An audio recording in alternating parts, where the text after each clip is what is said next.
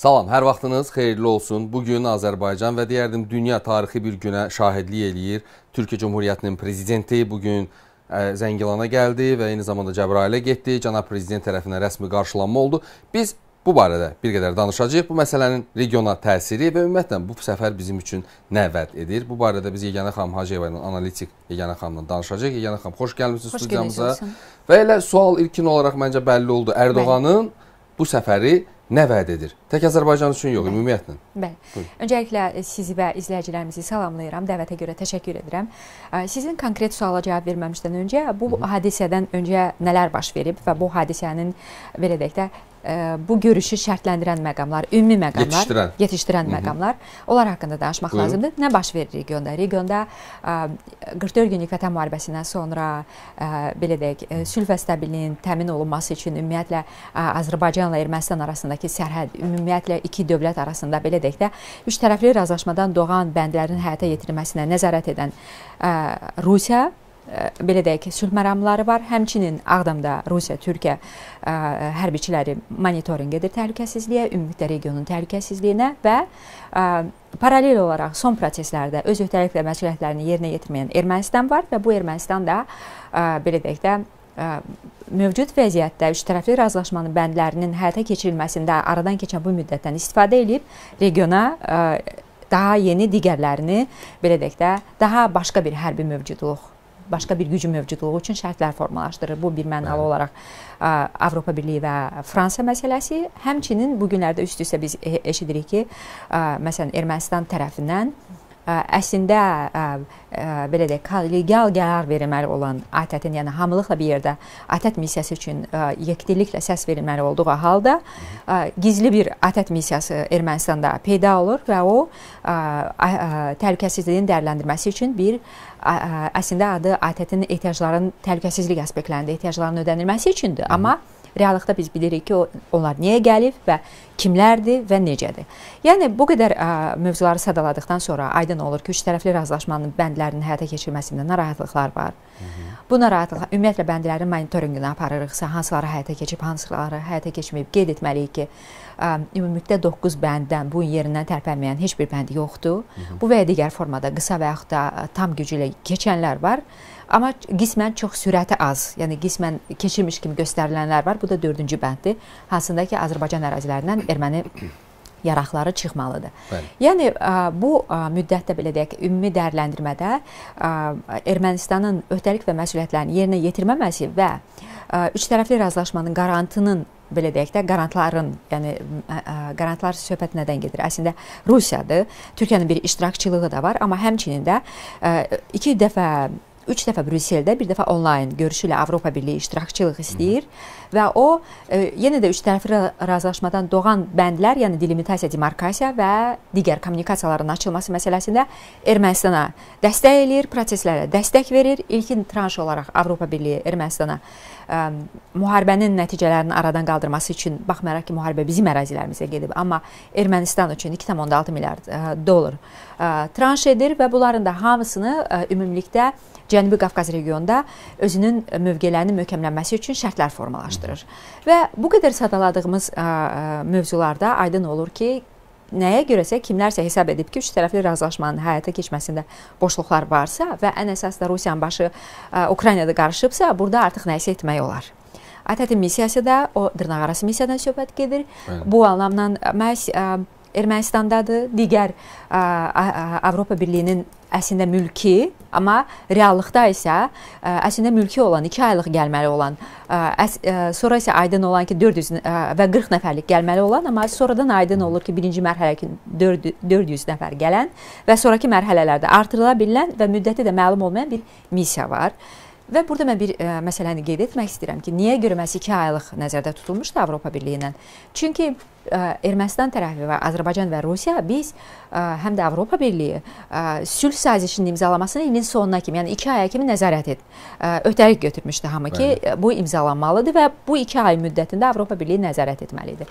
Bu proseslərin fonunda Azərbaycanın belə deyək də 44 günlük Vətən müharibəsində qələbəsində mənəvi və maddi xidmətləri olan dostu Türkiyənin rəhbəri Azərbaycana səfər edir. Kommunikasiyaların, yəni 44 günlük Vətən müharibəsindən sonrakı müharibəni dayandırmış şərtlər əsasında kommunikasiyaların açılmasında vacib belə deyək də infrastrukturların açılmasında iştirak edir.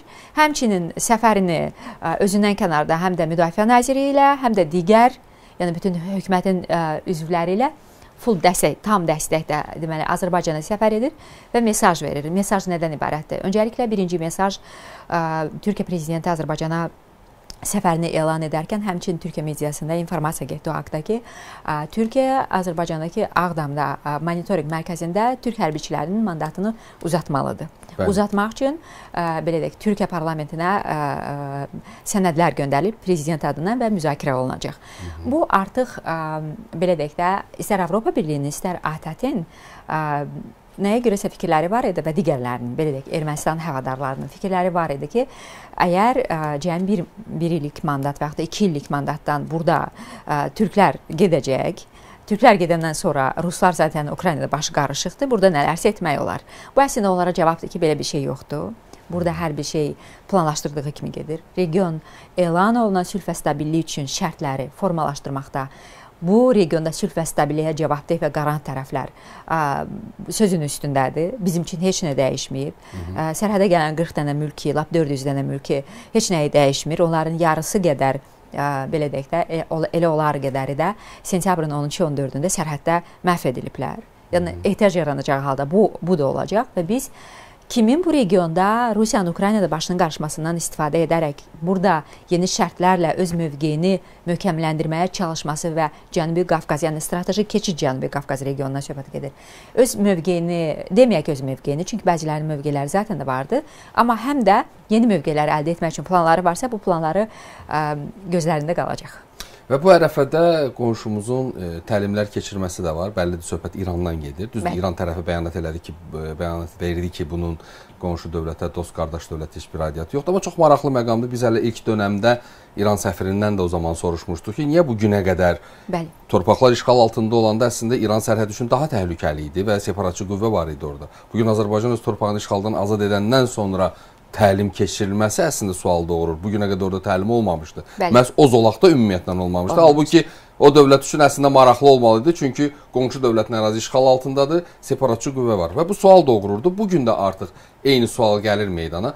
Amma bu səfərin özü elə bu təlimlərin keçirilməsi ərəfəsində baş verməsi də əslində arzuların Mesaj. ürəklərdə və gözlərdə qalması kimi sayılır. Mesajdır. Gəlin deyək ki, mesajdır. Mesaj hansı formadadır?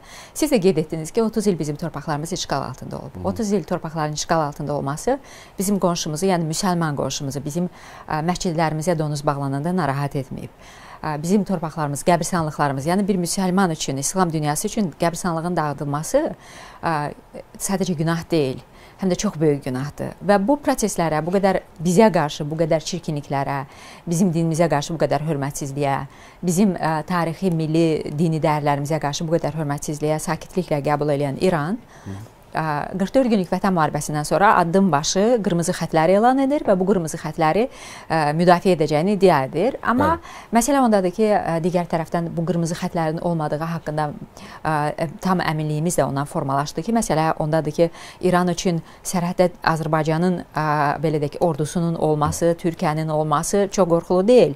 İran üçün daha qorxulu Avropa Birliyinin burada monitorinq missiyasının olmasıdır. Fransanın burada mövcudluğudur. Ən azından bizim dini oxşar, yəni dəyərlərimiz var və biz həmişə qarşılıqlı hörmət əsasında bir-birimizlə münasibətləri qurmağa çalışmışıq. Amma məhz onlar gələndə bu 400 nəfərlik birinci missiya, ATƏT-in digər dəyərləndirmə missiyası və s. İran səsi çıxmadı və İran səsi çıxmaması əslində bu prosesləri həm də İranla razılaşdırılmış kimi bir təəssürat yaratdı. Onu qeyd etmək lazımdır. Bəli. Əks halda Emmanuel Macronun Cənubi Qafqazın sülh və stabilliyi üçün Cənubi Qafqaz yaxın şərqlə Avropa və Asiya arasında keçid regionudur və Cənubi Qafqazda istənilən narahatlıq İranın özünün maraqlarını vurmalı idi. Çünki yaxın şərqə keçid Cənub koridor üzərində İranla gedirdi və bu qədər səssizliyin fonunda aydın olur ki, ümumi bir belə deyək də İranın ayrı zamanlarda düşmən elan etdiyi qatı konfrontasiyada olduğu bir tərəflə həm də bir kollegial qərarları var. O kollegial qərarlar da regionda güclər balansını dəyişmək, yəni 44 günlük vətən müharibəsindən sonra formalaşmış güclər balansından söhbət gedir. Və bunu da İranın xeyrinə dəyişmək, amma ə, məsələ ondadır ki, kimin bu regionda nə ə, istəyinin, nə arzusunun olmasından asılı olmayaraq ə, İranla Azərbaycan sərhədində nümayiş etdirilən silahlar 44 günlük vətən müharibəsində müharibə aparan ə, belə deyək, həmçinin ə, Liviyada, Yaxın Şərqdə, digər yerlərdə müharibə aparan ordunun belə deyək də ordunun təcrübəsini öz müdafiə sənayesində, öz ordusunda tətbiq edən bir tərəflə 80-ci illərin KAMAZ-ları, 90-cı illərin UAZ-ları, Vyetnam müharibəsinin silahları, o qışqıra-qışqıra orada Kalina mahnısının ə, Yaqdı Malina Daim mahnısının sanksiyalar altında olan bir dövlət, vetolar, embargolar, bəli, bütün bəli, çıxışlar, beynəlxalq çıxışlar texnologiyalardan uzaq olan, düzdür? Bir dövlət qalıb formalaşıb dağılıb, amma orada problemlər var. İnnovasiya yeni, problemi var, çox ciddi. Ən yeni tarix onu göstərdi ki, çox miflər dağıldı. O miflərdən də biri ə, güclü ordular mifi idi. Biz güclü Bəli. ordular mifinin birini Ukraynada dağıldığını gördük və digəri də bizim sərhədimizdədir. Yəni mənim fikrimcə sərhədimizdə nümayiş olunan silahlar ən azından İran silahları nəinki nümayiş etdirilməli, əslində gizlədilməli idilər. Dünyada dronların müharibələrin aqibətini həll etdiyi bir vaxtda, dəyişdiyi bir vaxtda 80-ci illərin kamazlarını nümayiş etdirmək çox böyük də ağıl göstəricisi deyil mənim fikrimcə. Geri dönəcəm sizlə e, danışacağam, amma qeyd eləmək istəyirəm ki, qonağımız var Türkiyədən siyasi şərhçi Əskər Güngör. Güngör bəy eşidirsiniz yəqin ki bizi. Hər vaxtınız xeyirli olsun. Her vaktimiz hayır olsun. Merhaba sizi İstanbul'dan selamlıyorum. E, Güngör bəy, sizin e, məlumatınız var, e, bir dünya da bilir, biz də bilirik, qeyd elədik. E, cənab Ərdoğanın Azərbaycana, Zəngilana səfəri, Cəbrailə səfəri, cənab prezidentlə dialoqları, ünsiyyətləri və qarşılanması. Biz ə, əslində bu səfərin dünya üçün, ətraf region üçün, ümumiyyətlə bu zaman üçün nə vəd etdiyindən danışırdıq və siz də dinləyirdiniz bizi. Sizin də ə, fikrinizi almaq istərdim və bugünkü şərhçilərinizin, siyasi baxışların hazırda bu vəziyyətə, bu real vəziyyətə və bu uğurlu əslində vəziyyətə regiona saçılan bu mesajın e, mövqeyinizi bilmək istərdim, yanaşmanızı bilmək istərdim. Buyurun. Şimdi işgalden kurtulan topraklarda Zengigan'a açılan havaalanı örneğinde olduğu gibi Azerbaycan yeniden ayağa kalkıyor. Havaalanları, yollar, altyapı çalışmaları yapıyor. Böyle üst düzey açılışları olduğu, olduğunda Sayın Cumhurbaşkanı Erdoğan artık kendi Ankara'da bir mesai yapar gibi ya da İstanbul'da bir mesai yapar gibi ayın belirli zamanları artık Bakü'de, Zengigan'da, Cebrail'de e, orada Sayın Aliyev'le birlikte görüyoruz. Artık ortak bir devlet aklı oluştu. Bu da 44 günlük büyük zafer yürüyüşünün sonucu. E, Sayın Aliyev'e bakıyoruz önümüzdeki hafta İstanbul ya da Ankara'da ya da uluslararası bir etkinlikte e, en son Avrupa'da gördük e, kendilerini Avrupa siyasi topluluğunun ortak hareket eden e, ikiz kardeş gibi ben bayraklarda benzediği için Azerbaycan ve Türkiye'yi ikiz kardeş olarak adlandırıyorum. Hareket eden bir devlet aklı var. Tabii bu e, hem İran'a hem Ermenistan'a hem bütün bölgeye bir mesaj. E, iki güçlü devlet işgalden kurtarılmış yaralı olarak adlandırdığım Karabağ tekrar ayağa kaldırıyor. Bizler havalan açıyoruz, e, yollar yapıyoruz, altyapı hizmetlerini yapıyoruz ama ne yazık ki Paşinyan imzasının altında durmuyor. Zengezur koridorunun açılması için adım atmıyor. Elbette Türk tarafının yani Azerbaycan ve Türkiye'yi ben Türk tarafı olarak adlandırıyorum. Türk tarafının siyasi ve diplomatik baskılaması Erivan üzerinde devam edecek. Şimdi e, Erivan'da yaşayan halk e, bir kendini yönetenlere bakıyorlar. İşsizlik, çocuklarının durumlarına bakıyorlar.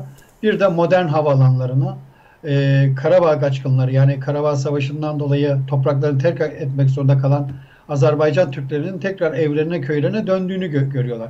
Böyle Kafkasya'da böyle bir tablo var. Tabii bu artarak devam edecek. Biz bugün Zengligan Havaalanı'nın açılışını konuştuk. Yarın başka bir konuyu konuşacağız.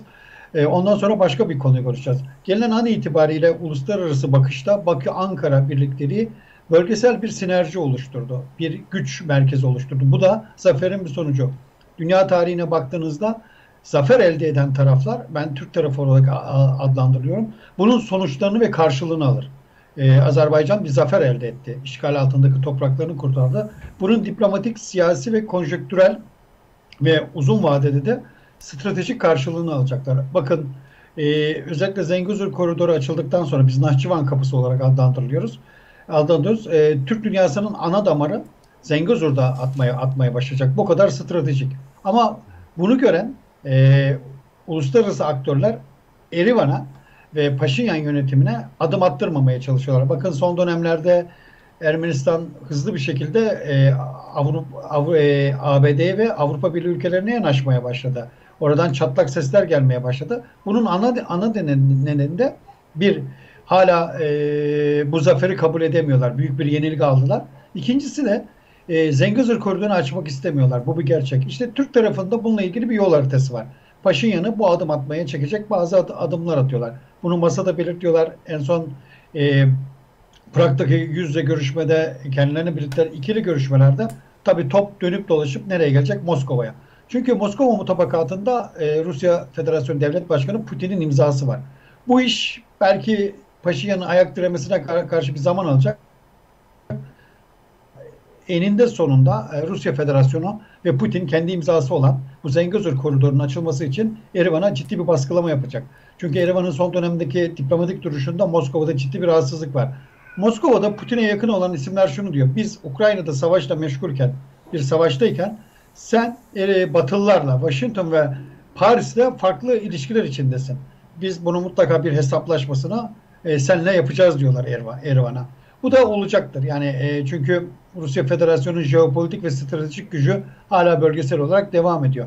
Peki Türk tarafı ne yapması gerekiyor? İşte bu faaliyetlere, açılışlara. E, biz artık şöyle diyoruz. E, Sayın Cumhurbaşkanı'nın haftalık programı var kendisinin. Biliyorsunuz e, belli oluyor. Bunda mutlaka bir Azerbaycan başlığı var. Yani Ankara'daki bir mesaisi gibi artık bir Azerbaycan mesaisi. Aynı şekilde Sayın Aliyev, Azerbaycan e, Cumhurbaşkanı'nda böyle bir mesaisi var. Bu sinerji e, söyleyeyim bütün Türk dünyasına ve bölgeye bir model olarak devam edecek. E, biz şunu gördük, bir kez daha bugün de gördük. Azerbaycan çok güçlü, çok kısa sürede modern havaalanları inşa edebiliyor. İşte bugün e, onu e, yakından gözlemledim. Ama sadece bu bir açılış değil. Bu bir mesai. Bizden bakanlar gitti. E, Milli Savunma Bakanımız orada, üst düzey e, yöneticilerimiz orada, İletişim Başkanı Fahrettin Altun Bey orada, Tarım Bakanımız e, ve bakanlarımız da böyle. Bu bir kurdele kesmenin ötesinde bir devlet işi. Bir sürü kararlar alındı. Yine karşılıklı adımlar atılacak. Ama bunun yanında Ermenistan hala batıdan menet umuyor. Hala batıdan bir şeyler dilenen pozisyon, pozisyonda. Onların yapması gereken bu çıkmaz sokaktan kurtulması için bir an önce Türk tarafıyla normalleşip Zengezur koridorunu tamamlatıp bölgesel işbirliği içine ki Cumhurbaşkanı Erdoğan defaatle Azerbaycan'ın meşru sınırlarını tamamla masaya gel. Bir nihai bir barış anlaşması istiyor Türk tarafı. Şu anda biliyorsunuz nihai bir barış anlaşması gerçekleşmedi. Yapıp siz de kalkının, biz de kalkının. Aslında büyük bir fırsat e, Ermenistan için. Tarihi bir fırsat sunuyor Türk tarafı. Ama ne yazık ki Erivan'da hem Karabağ klanı hem diasporadan fonlanan e, tetikçiler e, kaotik bir e, siyaseti devam ettirmeye çalışıyor. Bir tarafta yükselen ay yıldız var. E, iki bayrak için söylüyorum. Bir tarafta hala kaotik e, bir süreçte kalan Erivan yönetimi var. E, ben fazla dayanamayacaklarını düşünüyorum. E, bunun nedeni de biliyorsunuz dünya e, ciddi bir reaksiyona girdi hem ekonomik hem savaşlar hem kriz döneminde Ermenistan'ın bunu taşıyacak gücü yok. Yani Ermenistan e, kütle olarak e, bu krizi taşıyacak bir de yok. Yanaşabileceği tek güvenli liman. Bakın e, Tural Bey tarih çok enteresan. Ermenilerin çıkış kapısı Türk Türk tarafı. Yani bu ekonomik ve sosyolojik ve diplomatik olarak bu coğrafyada var olmak istiyorlarsa tarih öyle bir ders veriyor ki yani halkını, gençlerini Erivan'da rahat oturmak istiyorlarsa güvenli liman Türk tarafı. Yani bunun dışında bir çıkış yok. Okyanusun öbür tarafı onlara yardımcı olamaz. E, Macron'un verdiği hiçbir sözü tutmadı ki Macron'un Kafkaslar'da bir etkisi yok. Macron tırnak içinde etkisiz elemandır. Ne güzel dedi e, Sayın e, Aliyev e, Fransa'dan bu Karabağ Savaşı sırasında çatlak sesler geliyorsa Macron dedi e, Ermenileri çok seviyorsa dedi Marsilya'da bir sürü Ermeni var. Versin adayı dedi. Yəni toprağını versin dedi. Ermənilər nə olsun? Ümumiyyətlə dedi Fransanın yəni, Qarabağ məsələsində ümumiyyətlə heç bir aidiyyəti yoxdur. Onun vasitəçilik etməkdə heç bir aidiyyəti də ola bilməz. Mən bir məqamı istərdim çox qısa olaraq sizdən alım İranla bağlı. İranın daxilində baş verən proseslərdən xəbərdarıq, xalqın rejimdən olan narazılığından xəbərdarıq, amma bu ərəfədə qonşusu ilə əslində öz torpaqlarını işğaldan azad edən İran sərhədlərinə yığılan separatçını, düşməni, ən təhlükəli bir qüvvəni uzaqlaşdıran bir dövlətlə münasibətlərini yaxşı qurmaq əvəzinə və bu gün orada bilirsiniz, təlim adı altında bir güc göstərisi göstərməyə cəhd edir. Evet. Bu məqamda Kural... onların hansı bu durum nə qədər davam edə bilər? Siz bunu necə qiymətləndirirsiniz? Şimdi birincisi İran iç için, için için kaynıyor bir aydır. Tabii biz İran'ın toprak bütünlüğünü savunuyoruz. Şimdi İran'da e, Tahran'da bir Aras yarası var. Sayın Cumhurbaşkanı Erdoğan'ın büyük zaferde okudu bize ayırdılar Aras şiirinin yarası var. Bu onların DNA'ların DNA'larında ve siyasi yapılarında deprem etkisi yapıldı, yarattı. Yani e, bundan dolayı da biz bu yeni oluşumda biliyorsunuz 30 yıllık statükoyu dağıttı Azerbaycan. 30 yıllık 30 yıllık statüko dağılınca yeni bir durum ortaya çıktı. İran diyor bu tatbikatla ya da açıklamalarla siz diyor Bakü ve Ankara olarak bir şeyler yapıyorsunuz. Kafkasları şekillendiriyorsunuz. Ben bunu görüyorum. Ben burada yancı olmayacağım. Bakın askeri gücüm var, füzelerim var. Sınırda tatbikat yapıyorum. Masada olmak istiyor. E, Sayın Erdoğan onları masaya çağırdı. 3 artı 3 Kafkas altılısı dedi. Buyurun dedi Kafkas'a. Diplomatik olarak da bir şey. Var. Sadece diploma... Çox-çox üzr istəyirəm, məsələdə onlar var. Biz Azərbaycan olaraq bilirik ki, regionda maraqların hamısı təmsil olunmasa sülh əldə etmək mümkün deyil və biz onlara müəyyən belə deyək, baxmayaraq qalibiyyət bizimdir, baxmayaraq şərtləri biz formalaşdırmışıq, amma masada onlara təkliflər etmişik. Amma görsənəni odur ki, masadakı təkliflərdə onlar razıdırlar, amma başqa istəkləri də var. Evet. Doğru, tam işte, razıyım sizinle. Aslında Sayın e, Cumhurbaşkanı Erdoğan'ın Kafkas altılısı müthiş bir diplomatik aday. 3 artı 3. İran bunun için de pek istekli gözükmüyor. Tabi diplomasi de şöyle. İranlar ben e, Orta Doğu üzerine çok uzun yıllar çalıştım. Irak ve Suriye ana alanım. Hı hı. İranlar hep şöyledir. İkili bir diplomasi yaparlar. Masaya gelirler. Müslümanız, kardeşiz derler. İslam Birliği'nden söz ederler. Ama hep kendi bir ajandaları vardır. Yani bu klasik bir e, Fars siyasetidir ne yazık ki. Bundan çıkmıyorlar. İran hem e, ABD ambargosu sırasında hem bu Ermenistan işgali sırasında e, Türk tarafına karşı yaptığı tavırlar notlarımızın arasında. Şimdi yeni bir not e, yeni bir döneme girdik. Ya kazanan, yükselen tarafın yanında olacaklar. Yani Türk tarafının yanında olup kendi kazanımlarını elde edecekler müeffet bir şekilde. Ya da bu benzer işte sınırda tatbikat. Bence çok gereksiz bir tatbikat. Çünkü e, Türk tarafından İran'a bir tehdit yok. E, bir e, beklenti yok. Gerçi İran Genelkurmay Başkanı Sayın Azerbaycan Genelkurmay Başkanı bilgilendirdi, görüşüldü. Ama bu kadar geniş çaplı, bu kadar şey var. İran biraz evin içine bakması gerekir. Bunu da söylememiz lazım. Biraz biz çok efendiyiz. Evin içi kaynıyor. Bir aydır gençler sokakta. Ekonomisi çok çok çok kötü. Şimdi Rusya'ya silah verdiğinden dolayı çok ciddi bir Avrupa Birliği yaptırımı geliyor. Yani. Peki İran'ı kim kurtaracak? İran'ı bu ekonomik kaotikten gene Türk tarafı kurtaracak. Az önce Paşinyan için güvenli liman Türk tarafı dedim. Aynı şekilde e, yeni stratejiyi okuyamayan, bakın bu yayın not olsun.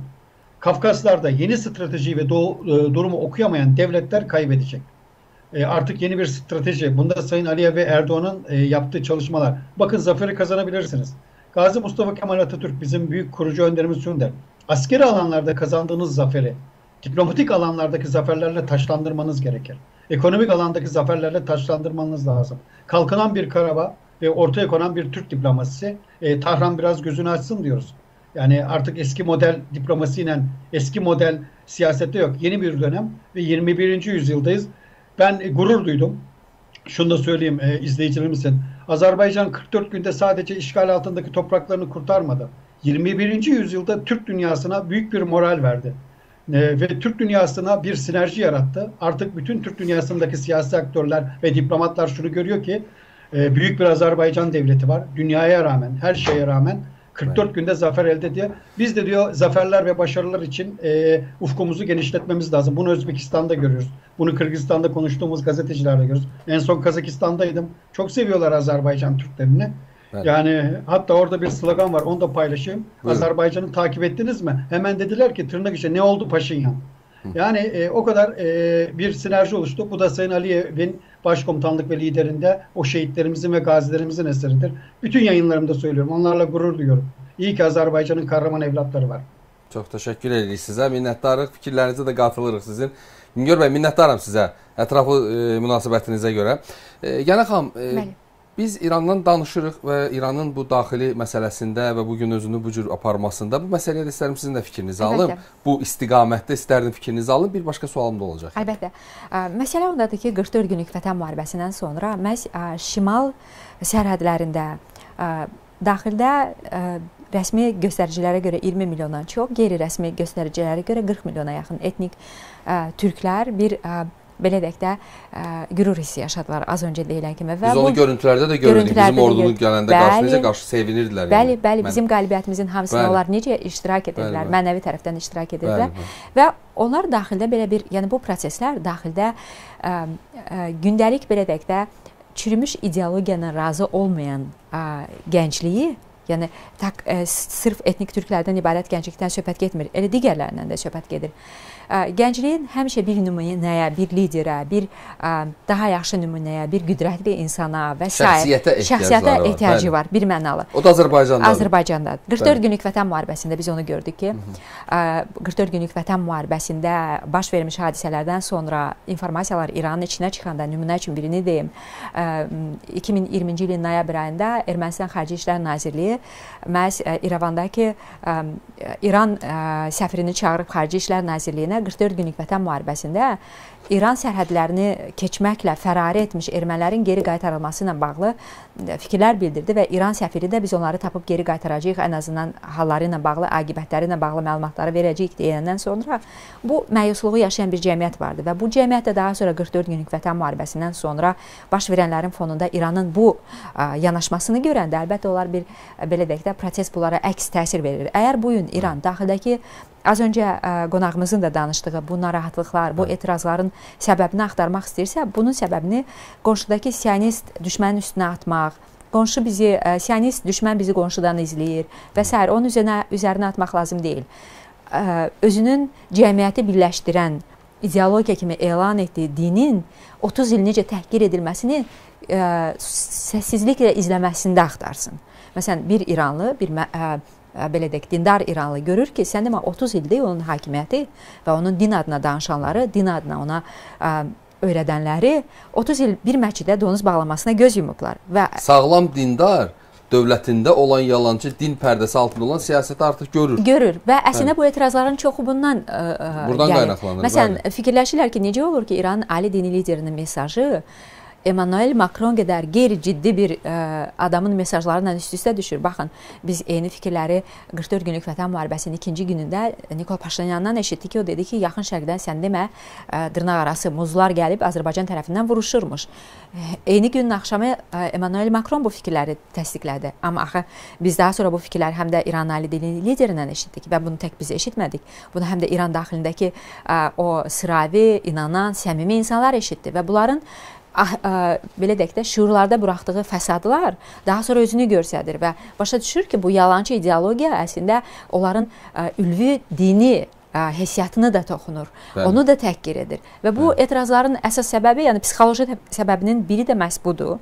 Orda öz üstəm o elanlarda olurdu. Yaşlı nəsil hətta deyirdik 79-cu ildə biz aldandıq. Bəli. Və bəli. biz gördük ki, o deyil. Bizə bəli. vəd edilən din də o deyil. O deyil. Şahın devrilməsindən sonrakı verilən vədlər də o deyil və tamam anladıldı axı cəmaət. Xatırlayarsınız, yəni tarixdən də bilirsiniz bəli, ki, bəli. elan edilən bəli, o müstəqillik bir anın içində hər şey daha bir qaraya bəli, büründü. Bəli, bir mənalı və bu da bilirsiniz, ümumiyyətlə İran ə, cəmiyyət olaraq çox ə, tarixən mütərəqqi, inkişaf etmiş, modern bir cəmiyyət olub. Bu gün də 40 ilin qaranlığına baxmayaraq İran doğrudan da müasir dünyanın, İran gəncləri müasir dünyanın bir hissəsi olmağa haqq edən, müasir dünyanın inkişaf etmiş parçası olmağa haqq edən bir gənclikdir və o gənclik başının üstündə dronları görəndə uçan uçan ələm nağıllarına inanmır. O gənclik müasir dünyanın bir hissəsi olmaq istəyir Doğru. və haqq da edir. Tam razıyam sizinlə. Bir qonağımız e, yenə var bizim Türkiyədən e, İsmail Cingöz bəy ilə danışacağıq. Bir sualım yenə olacaq buyurun, sizə amma buyurun. bir başqa istiqamətdə. Buyurun, buyurun. İsmail bəylə də danışaq və bizi eşidirsə salamlayıram. Hər vaxtınız xeyirli olsun İsmail bəy. Hayır olsun. İyi akşamlar diliyorum. Azərbaycana selamlar. Ee, Qonağımızla tanışsınız, amma hər halda bir daha tanış eləmək istərdim. Analizi Yeganə xanım Hacıyeva, biz bir qədər də artıq danışırıq. Çox şadam. İsmail bəylə də bizim qonağımız oldu dəfələrlə verilişimizdə. İsmail bəy, e, biz Ərdoğanın Azərbaycana, Zəngilana səfərindən bu səfərin regiona, regionda yaradılmağa cəhd edilən gərginliyin qarşısına alınma mesajından danışırıq və ümumiyyətlə sizin bir qədər öncə bir başqa bir baxış aldıq. Bu vəziyyət, bu gəliş, bu səfər regiona nə vəd edir? Bizim əslində elə başlığımız da bundan ibarətdir və sizi də dinləmək istərdim. Buyurun. Öncelikle e, Azerbaycan'ın e, ne kadar kısa sürede neler yapabileceğini göstermesi açısından çok önemli. E, bir yılda iki tane havaalanı açmak gibi. Bununla beraber e, biraz önceki konukları da izledim ben, Sayın Hocamızı da e, Azerbaycan ile Türkiye arasındaki dostluk ve kardeşliğin ne kadar ilerlemiş olduğunu bu ziyaretten de e, görüyoruz. Çünkü e, eskiden bir e, söz vardı, iki devlet tek millet diye. artık bir devlet bir millet pozisyonuyla sanki tek devletmiş gibi hareket eden Azerbaycan ve Türkiye'yi görmekteyiz. Bununla beraber e, geçtiğimiz günlerde 9-12 Ekim 2022'de e, Erzincan'da gerçekleşen Türk Dünyası Sempozyumu vardı. Ben de orada katıldım ve orada farklı bir şey daha gördük. E, bütün Türk dünyasının ne kadar birlik ve beraberliğe susadığını ve birlik ve beraberliğe her geçen gün daha da yaklaştığını bu sempozyumla ve Türk Devletleri Teşkilatı'nın adım adım ilerleyen ve ete kemiğe bürünen e, hamleleriyle görmekteyiz ki e, Erdoğan'ın e, heyeti içerisinde Türk Devletleri Teşkilatı Aksakallı Başkanı Sayın Binali Yıldırım da e, var. Dolayısıyla Türk Devletleri Teşkilatı'nın e, Azerbaycan-Türkiye özelinde ete kemiğe büründüğünü görüyoruz. E, bununla e, şöyle belirtelim ki bir devlet e, iki, iki millet e, e, iki devlet tek milletken önümüzdeki süreçte buna Macaristan ve e, önümüzdeki ay Kuzey Kıbrıs Türk, Türk Cumhuriyeti'nin Türk Devletleri Teşkilatı'na e, gözlemci üye statüsüyle üye olacak olmasının müjdesini aldık e, sempozyumda. E, ve Macaristan ve Kuzey Kıbrıs Türk, Türk Cumhuriyeti ile beraber e, bir millet, sekiz devlet sloganını artık söyleyebiliriz. Türk Devletleri Teşkilatı üzerinden bütün akraba topluluklara, Türk dünyasına böyle bir şey söyleyebiliriz. E, tabii ki e, Azerbaycan'la Türkiye'nin ve Türk dünyasının e, her geçen gün birbirlerine yakınlaşıyor olması, tek yürek, e, tek kuvvet şekliyle hareket ediyor olmasından rahatsız olanlar elbette ki vardır. Hı hı. Bu e, Türkiye düşman olan toplulukları ve ülkeleri rahatsız etmektedir. Tabii ki en başta Rusya, Ermenistan, İran, e, Fransa ve Amerika Birleşik Devletleri'ni sayabiliriz. Artı Türkiye düşmanı olan herkes bu yakınlaşmadan elbette ki rahatsızdır. Ve bu rahatsızlık fonunda, bu narahatlıq fonunda siz e, bu səfərdən sonra çox maraqlıdır. Hansısa təxribatların baş verə biləcəyini ehtimal edirsinizmi yenə? Türkiye ile e, Azerbaycan arasında bu ziyaretle de gördük ve e, iki liderin Sayın Aliyev ve Erdoğan'ın e, açıklamış olduğu e, ekonomik ve ticari ilişkilerden e, bahsedildi. E, açılmış olan bu havaalanı ile birlikte e, Zengilan Uluslararası Havaalanı ile birlikte bu coğrafyaya e, kara ve demir yollarının e, açılacağı e, ve e, iki ülke arasında ve e, bu havaalanı üzerinden ve e, Nahçıvan koridoru üzerinden Türk devletlerinin e, karayolundan da birbirleriyle bağlanacağını e, müjdesini aldık. Zaten e, geçtiğimiz sene e, Ermenistan Azerbaycan arasında imzalanan ateşkes kapsamında da e, Nahçıvan koridorunun açılması zaten mutabakatta vardı ancak Ermenistan hala ayak sürüyor. Paşinyan bir türlü vermiş olduğu sözleri yerine getirmeyerek e, kendisiyle çelişen hamleler içerisinde.